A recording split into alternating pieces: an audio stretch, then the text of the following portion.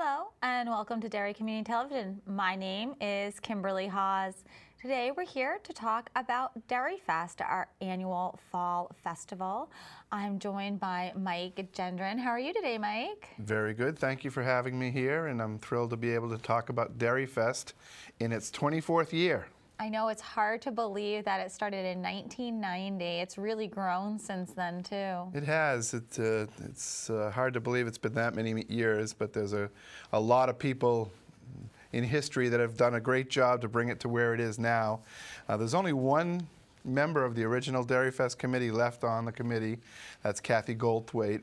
Uh, she's one of the chair people, along with myself and uh, Sean Ficara, uh, that uh, make Derry Fest happen each year. So want to congratulate Kathy on her 24th year as a committee member of Derry Fest.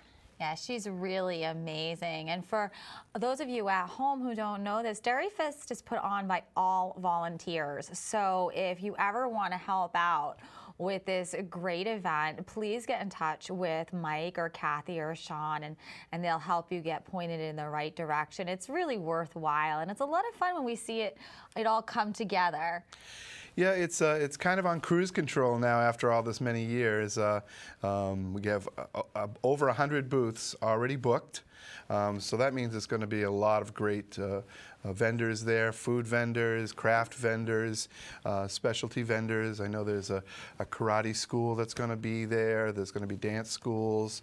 Uh, there's going to be uh, a lot of great uh, information that could be had there.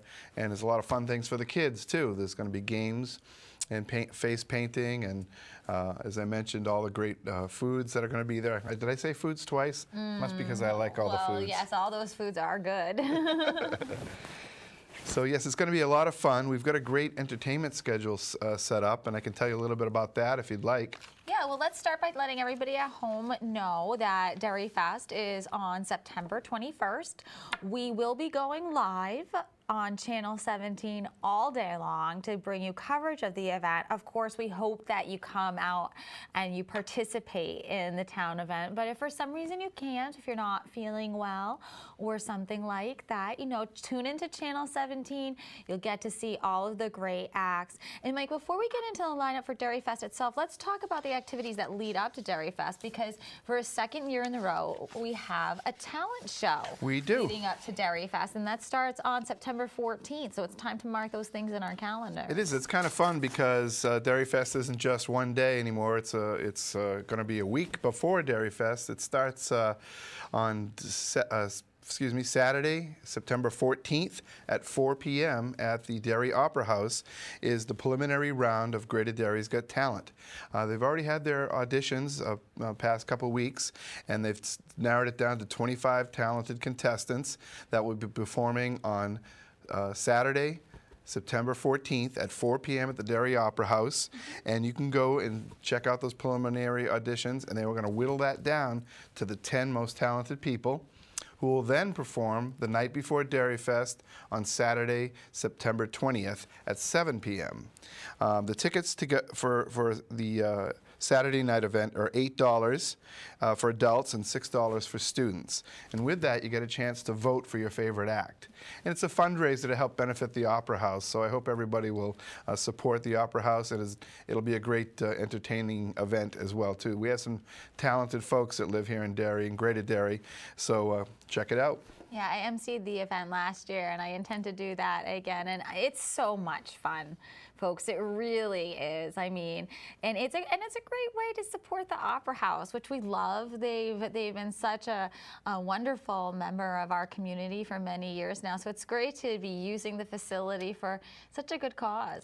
I know a lot of people may not have ever even been in the Opera House. It's a terrific place. I used to be on the Arts Council there, and there's a lot of great events. They're really um, there's a new crew of people in there that are really trying to get a lot more events in there. Um, I have their uh, schedule right here in front of me, but if you go to derryoperahouse.com.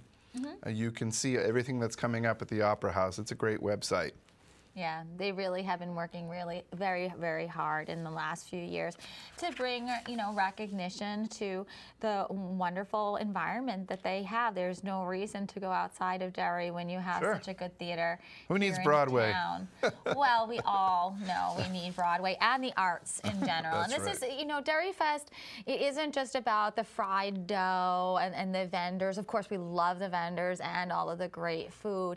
Um, but it is a chance to, you know, show off some of our local artists as well. Um, and, and again, before we go into the lineup, let's just mention the things that happened before Derry Fest so we don't forget them. We don't want to forget anything today. Um, there's the spaghetti supper. Yes, the Derry Village Rotary Spaghetti Supper has been a tradition with Derry Fest for, for almost as, I think, every year of Derry Fest. And that's from 5 to 7 at Pinkerton Academy the night before Derry Fest. Um, again, it's a, a fundraising event. I think it's only $5, and uh, it's a great chance to start off Derry Fest. You can eat the your spaghetti dinner and then go over to Greater Derry's Got Talent after that. And then the next morning, before Derry Fest, uh, again, another tradition, the St. Luke's uh, has their annual uh, pancake breakfast, and that's a free will offering, but I'm sure if you'd like to donate uh, a little bit to say thank you to them, uh, they would very much appreciate it. But that's pancakes, scrambled eggs, bacon and sausage, and all the muffins and juices and coffee that you'd like, which is a great way to, uh, to get started so you don't start Derry Fest on an empty stomach. You would want that to happen. and so that will lead up right up to the, um, the opening ceremonies of Derry Fest right at 10 a.m. And the great thing about the opening ceremonies is we have Miss Greater Derry Megan Cooley will be featured singing the national anthem. And uh, it'll be a great way to kick off the day. And right after the opening ceremonies, the Bel Airs are back by popular demand. They're a doo-wop group. They sing some songs a cappella and some with backing uh, music, but they're terrific uh, vocalists, and they will be singing some songs from a bygone era that I know everybody will love. And then we have the world famous Derry Red Star Twirlers performing at 11 o'clock. Uh, they do a terrific job, and they're just coming off a great championship and their baton twirling championships um, of the world. So I'm sure uh, we'll all be excited to see them and uh, uh, have them perform. Gina does a great job with those girls, and and all of them are truly professionals Mm-hmm. when they're out there. Even the littlest ones are professional. They're the cutest ones. They, they're no bigger than the baton. So, um, at uh, 11:55, as you know, each year uh, we honor our POWs and um, missing in action uh, soldiers by having a ceremony, a solemn ceremony, and that'll be. Um, uh, before that, we'll have Miss Greater Derry Outstanding Teen, Caroline Carter, will be singing uh, God Bless America. So that'll be a solemn ceremony. It's always very uh, um heartfelt each year. Very moving. And then um, at 12:30, we mentioned Greater Derry's Got Talent. The three top winners of Greater Derry's Got Talent, uh, part of their prize package is to sing at Derry Fest or to perform at Derry Fest. Uh, so at 12:30, those three top winners will be performing at Derry Fest. So that'll be great to come and see them. And then we'll move right on at 1 o'clock. We have a great magic- magician. He's right here from Derry. His name is Bob Reardon. He owns Wonder Productions, and he's a terrific magician. I know the kids will really love him. Uh, it's, he's mesmerizing. His tricks are amazing, and uh, I think all the kids will really enjoy that, and kids young and old like me. Yeah, I was gonna say the kid inside of me really kind of makes me want to sit down and watch that one. Yeah, he's he's he's terrific.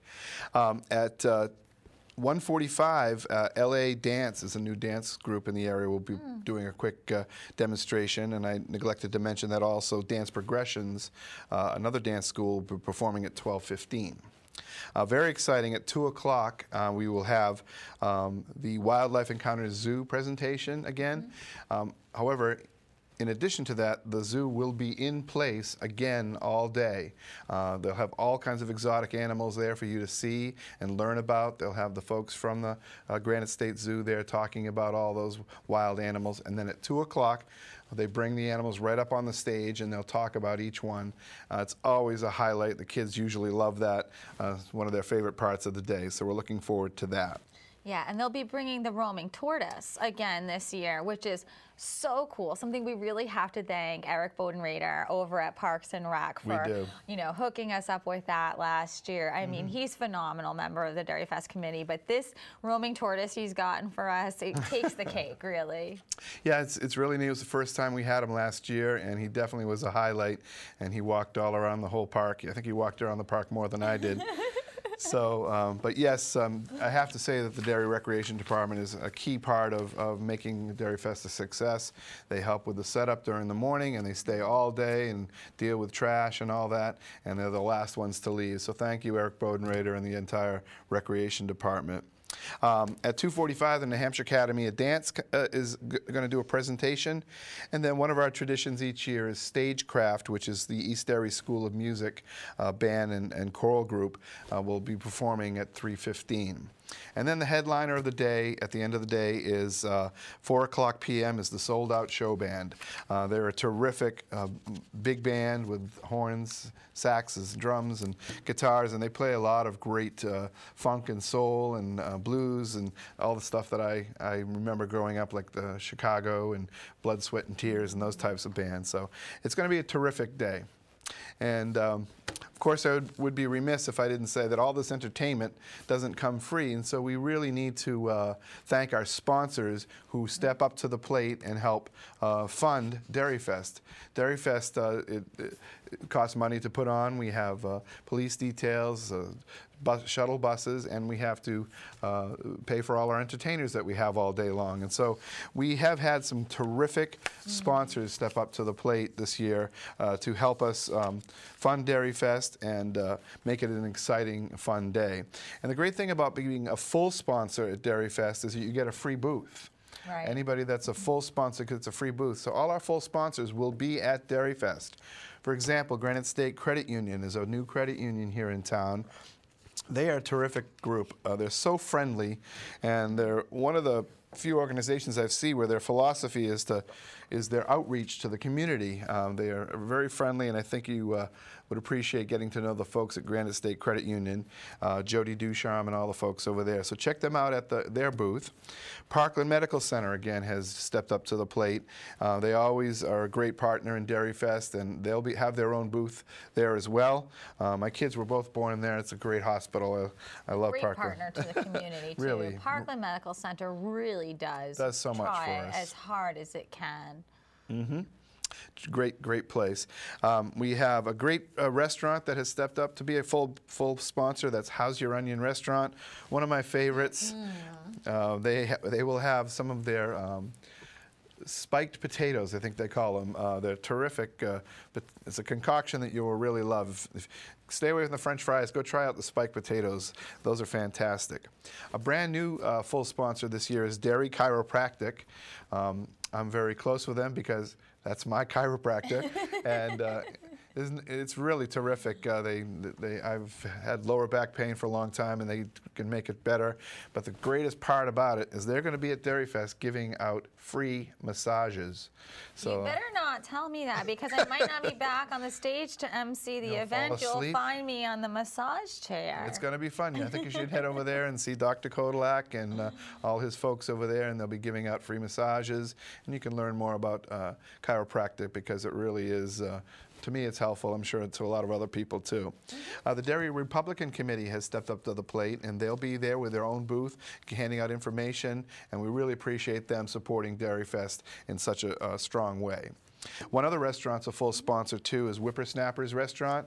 Um, the lead singer of the Sold Out Show band, Mark Berlanger, is a key person at the Whippersnappers. So they've uh, stepped up to the plate and chosen to become a full sponsor. They'll be serving cheesesteaks. So, and I'll just get a real quick mention our co-sponsors: Enterprise Bank, a very good full-service community bank over on Crystal Ave. Rigatoni's, again another mainstay in Derry. Lisa DeSisto consistently is a, a, great uh, business in our town. And by the way, if you go to our Derry Fest website, derryfest.org, you'll see all our sponsors, and you can click on their little logo, and it'll take you to their. I'll, well, I see you brought that up. I'll bring it over to um, all of the sponsors, which are right down here. There we go Parkland Medical, Granite State Credit Union, Derry Chiropractic, and you can just click on their uh, logo right there, and it'll take you to their website and their menu, and you can learn more about each of our sponsors there. So uh, the other sponsors uh, that we have are uh, uh, Handle with Care Veterinary uh, Service. They are a terrific veterinarian. Uh, they just became AAHA accredited, which means they give exceptional standard uh, service for pet medical care and service. Uh, and then the last two are patron sponsors, Ahern and Nichols Dentistry. Again, my dentist. Great, great folks. John Ahern, Sean Nichols, all great folks. Peabody Funeral Homes has always been a great neighbor. They've been there for our community for over three generations, and we want to thank Eric and Craig Peabody for that. So those are all our sponsors. I, I, I felt like it's very important if uh, Derry Fest would not happen without these sponsors. If you're a business and you'd like to consider being a sponsor next year, please contact us in early early uh, August, and uh, we'd love to have you participate in Derry Fest. Yeah, folks, it, it doesn't have to be some place where Mike goes in order for you to be a sponsor. It made it seem that way. We really want everybody to come out and, and sponsor Derry Fest. And these and these folks here, I'm I'm just kidding about Mike being a client for them. They're really the people who every year um, step up to the plate to support things like Derry Fest and so many other things in the community. You'd be surprised you see these names again and again. So certainly make sure that you, you know, give them some return business um, as a thank you, as a thank you. All right, so here we are on the um, parking section of our website. This is uh, under the entertainment um, uh, what's happening section, and it talks about uh, par parking and shuttling.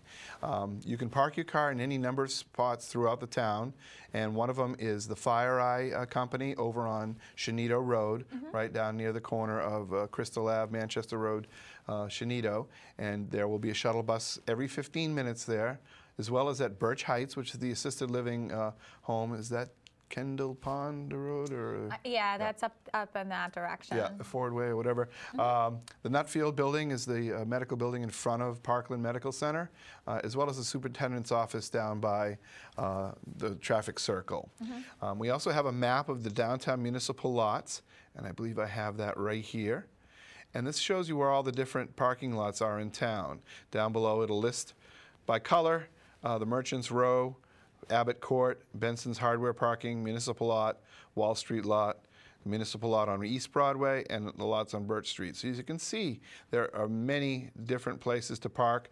The closest one being right here, number six, um, on Mar uh, off of Marlborough Road, on the other side of the Masonic Lodge from the Derry Public Library.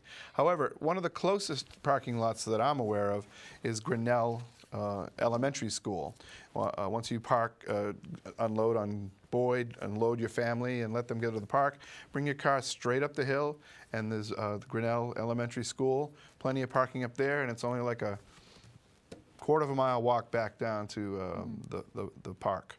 So yeah, it's really important to remind people that Boyd School is just for unloading. You cannot park there, folks. It's very, very important that if for any reason the fire trucks had to come through there, um, that they would have the room to do what they need to do to protect and serve our population. Um, but Mike has provided some great maps. I, and even if you don't come to Derry Fest, go to the website and download that and, and print it off for yourself. So next time you, you think to yourself there's no parking downtown, it will prove to you there's plenty of parking downtown for us to enjoy our downtown atmosphere atmosphere and great events like Derry Fest. Is there anything else that we wanted to touch base on today, Mike? Geez, I hope I, I remembered everything. I do want to say thank you so much for being our MC again for Derry Fest. I know it, uh, it comes with a heavy heart because I know uh, you have some new news for us. Yeah, I do. I mean, I'll still be part of Derry Fest, and I, I will definitely support um, Derry and everything that the town does to better our community and make it a, a great place to work and live. But I do have to tell my audience at home, my wonderful viewers who have been there for me for the last three years, that I have accepted a full-time job at Foster's Daily Democrat my husband and I had to move to Dover for his work. Um, he was supervisor of the press room for the Union Leader, which I'm sure you all know has been outsourced to Seacoast Media Group.